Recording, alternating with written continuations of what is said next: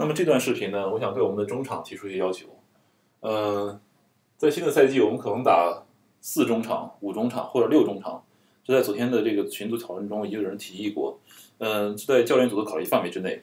但不管打几个中场，我们会设两个后腰，这是在呃比分打持平或者是在领先的情况下，我们一个基本配置。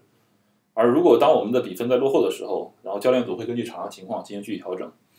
好，现在以两个后腰为例，后腰像我们第一昨天所说，在后卫拿后卫线拿球的时候，后腰应该是面向我方球门，然后来接应的。那当他们接到球的时候，如果包括边后卫和中后卫传给后腰球，是保证后腰没有人在贴着后腰的情况下才可以给他球，否则的话，你给到后腰球没有意义，后腰又要回传给你。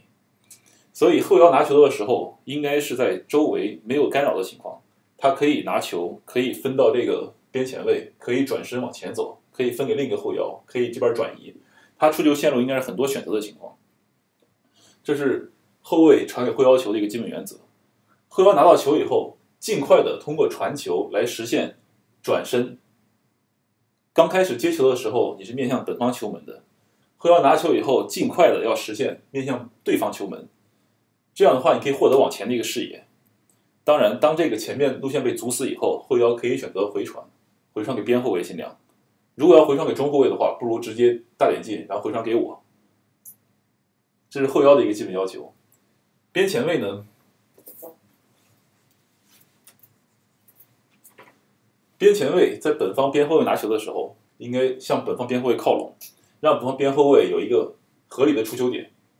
因为在边线附近，边前卫的处理就很简单，你可以传给后腰，当后腰这块没有周围没有什么人的时候，没有什么防守队员，你可以放心传给后腰，然后边前卫或者回传给边后卫，边后卫永远在那儿接你，然后边后卫再处理，按上一章所说的，可以处理三条路线。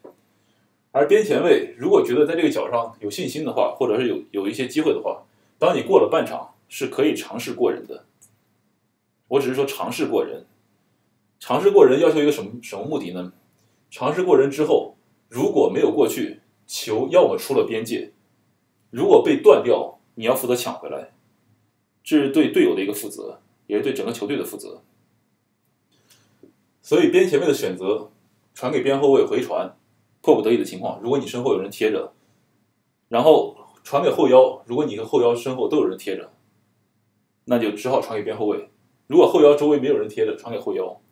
这是你的最好的选择。